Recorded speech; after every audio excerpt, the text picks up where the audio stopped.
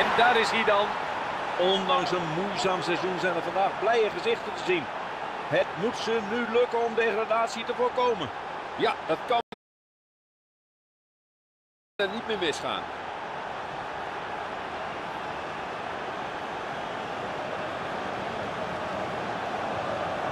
Die bal zit er prima in. Wat een geweldig doelpunt. Rechtstreeks uit de vrije trap gescoord. Keeper was totaal kansloos. Geweldig genomen vrije trap. Prachtdoelpunt.